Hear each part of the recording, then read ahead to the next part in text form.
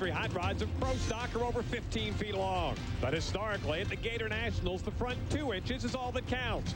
Many times over the years, that distance was the difference between Gator's glory or Florida failure. Six years ago, Warren Johnson won his first of four consecutive Gator Nationals titles by edging Darrell Alderman by less than one thousandth of a second. Years later, the professor nipped his current arch rival Jim Yates in the semis by that tiny two inches. Same game, different players. 1993 found Yates again on the losing side of a dead heat against David Rampy. And that same year, Mark Pawuk took a similar size squeaker over Bruce Allen. 1995 was a Pawuk replay as he and Larry Morgan raced door handle to door handle in the semis with the Cowboy prevailing by a thousandth of a second. Pro stock is parity a rarity. Parity would certainly be the word here for Pro Stock Racing this weekend. If you don't believe me, ask that guy. No, ask that, not that guy, not the guy with the shirt off. We got some great activity right here. Many of six-second runners here in Pro Stock in qualifying. And you can take a look. That's the first half of the field. Nary a seven-second run to be found. Troy Coughlin's running a car that looks suspiciously like one of Warren's. Remember, he banged it up badly. And look, I see a Dodge. I see a Dodge right there, number nine. It's been a long time. Pete Williams on the bump spot at 7.01, but he wound up making the cut, and that's more than about 15 other guys can say. There's the ladder. Warren at the top of the pack. There's going to be some great matchups. Mark Pawuk in the Summit car is having a good start to the season. We will find out how Jim Yates can do in his Mickey D's car without Dick Maskin. KJ on the other side, if he meets that, it would be in the finals. Mark Ingersoll certainly hopes that doesn't happen. Some other good runners. Jerry Eckman's having a great start to the 1997 season.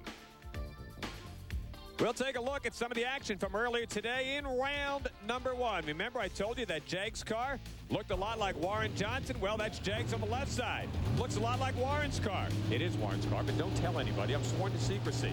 Looks like Warren on the starting line, too, because nobody wants to stage. That's Ray Franks over there in the far lane. Bang, they're out of the starting gate. Heading on down the racetrack.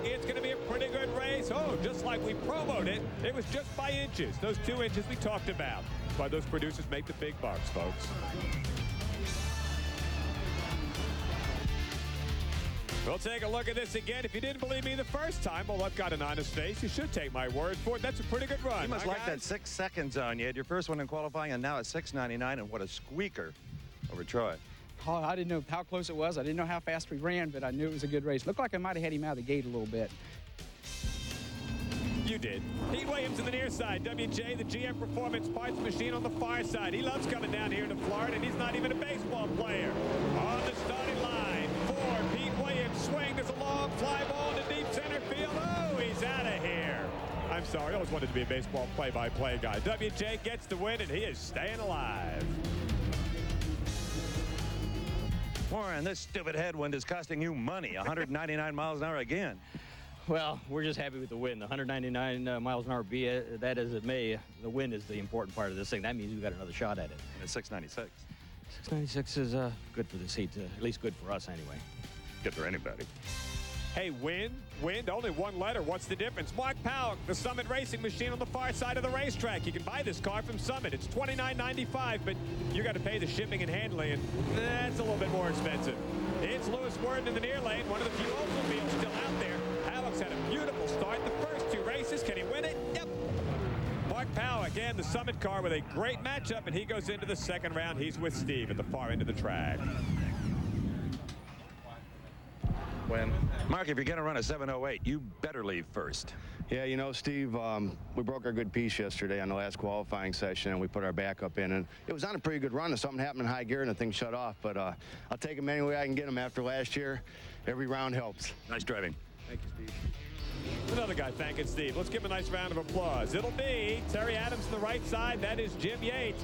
And the McDonald's team machine. He's the Winston champ. He's going for a triple or a double or a Big Mac. He gets the win. And he goes 695, 197 miles an hour. Couldn't quite match Warren's 199, but the old adage ET wins drag races, not speed. Actually, it's not an old adage. I just made that up. The Dodge will go into the next round against W.J. Yates against the Cowboy. Should be some fun. And KJ still trying to meet that against Ray Franks. Edwards and Schmidt, two very good drivers and a lot of power. Let's catch up now with Steve Evans for an update on Pro Stock. Jim Yates and Dick Ditmaskin may have agreed to disagree, but there's still plenty of firepower in the Yates trailer. I count at least two motors there. There's one in the Pontiac that in first round recorded a 695. But what's the situation without Dick here to tune these motors? You know, Steve, it's no secret that Dick Maskin was a big part of our program, but, you know, we've got a heck of a team here that's known how to win a lot of rounds, and, you know, they've got a lot of confidence in me, and they put a lot of faith in me here, and, uh, you know, the McDonald's team is going to be here to stay, and I'm just doing the best I can, trying to win one round at a time. What happens when you guys have to rebuild these Maskin motors? Well, you know, we're working a program out with Bob Ingles from JMB Performance out of New York, and we worked with him before. He helped me a lot in the years past, and, uh, you know, we're confident we'll be able to hold our own.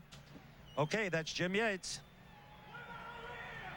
There's one of those big honking motors there that hopes to carry him to a 200 mile an hour shot.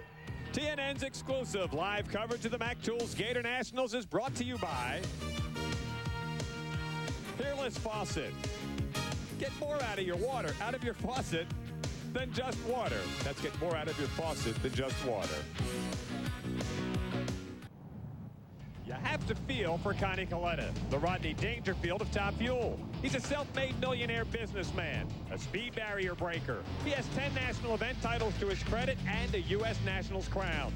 But he's almost always thought of as Shirley Spoil or Scott's dad. And for four decades, the Gators gave him no respect either. For three consecutive years in the early 80s, Conrad faced off with Ms. Muldowney, and Weiss walked, or should I say, stalked away the loser to his greatest rival. Only in 83 did Connie take the measure of Muldowney to reach the final. And there he watched Gary Beck streak away to victory and a place in the Gator Nationals record book. In fact, it wasn't until this race three years ago that the Florida sun shined brightly for Connie as he marched through eliminations to the finals where he spanked son Scott with the quickest time of eliminations. Finally, after a quarter of a century, Connie had turned the tables and taken a bite out of the Gator. And Connie is off to a great start here in 1997, as well as several of the other drivers. He is quietly starting to rack up some points.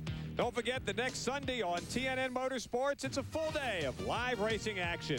First at 12:30 Eastern, it's the Florida Dodge Dealers 400 NASCAR Craftsman Truck Race from Homestead, Florida. Then at 4 p.m. Eastern, the NASCAR Busch Grand National regulars try their luck in Las Vegas 300. It's all right here on TNN Motorsports next Sunday. Some great racing activity all coming your way. They'll be hard pressed to beat the kind of activity we have right here at the Mac Tools Gator Nationals. Racing Jim Head is a bit of a dilemma for Alan Johnson. Let's remember last year Alan served as a consultant to the head team and personally wrenched him to his first national event victory at Topeka. But now they're both in the same category. He's still a consultant, but really only between races. His contract says he can't go over and help head tune his car unless, of course, this car is already out of competition. And so for a 97, that didn't happen. Take a look at some of that action in round number two, and there is the close call machine of Jim Head. He would take on Gary Scelzi and Team Winston, as Steve just mentioned. And there's a lot of close friendships here in this particular matchup. Scelzi in the near lane hasn't lost this year. The close call communication car in the far lane, it's a close call. But how about that? ET, phone home, or Jim Head, go home. 476, Team Winston and Scelzi are winners. 10 rounds and 10 wins. How about it? They just don't get any easier, do they, Steve? I'll tell you what, this thing, I don't know. I don't know enough about this stuff to know what's going on, but it feels like it's spinning. It's when it's leaving, it's soft, then it moves through the middle hard, and then she kind of lays back down down here. One good thing, though, you have Amato and Bernstein on the opposite side of the ladder. Yeah, hopefully we can, you know, get enough data on this run to find out what's happening to get her in the 60s, because, boy, we know we're going to have to be there.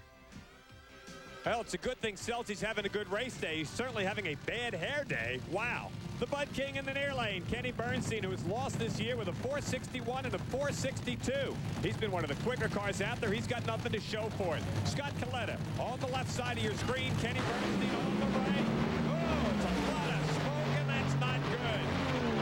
Good. If you're looking at baseball throwing smoke, but it's never good when you're on the quarter mile. Scott Kalitta 469, 297, and Kenny Bernstein is gone.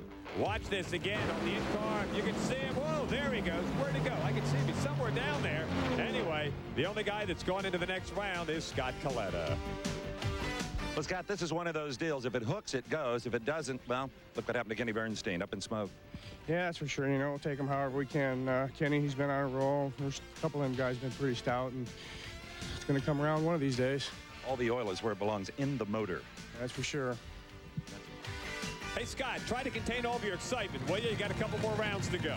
Or at least that's the game plan. All right, next up, it's Amato. It's Vandergriff, the Jerzees activewear machine. Been throwing out some good numbers. Was in the 460s out of Phoenix. He's been running very well here. Could he stop Joe Amato? Could he stop it? It looks like no. Vandergriff gave him a run. Amato 465, 312 miles an hour. Must have been those little black gadgets he had on his ears. Take a look at this again in the replay. This is slow motion as we look at it again. Amato holds on and gets the win by just about that much. It'd be Mike Dunn in the Mopar machine if Darrell Gwynn, the Florida fans would love to see Darrell and Jerry Gwynn and Mike Dunn in the Mopar machine march into the championship round. Corey Mack in the McDonald's Ziploc car here in the near side of the racetrack. Corey Mack struggled out in Phoenix, ran well here in the number two spot in qualifying. Let's see if he can put a little cloud cover over the Florida faithful. I don't think so as Mikey goes right down Broadway and gets the win.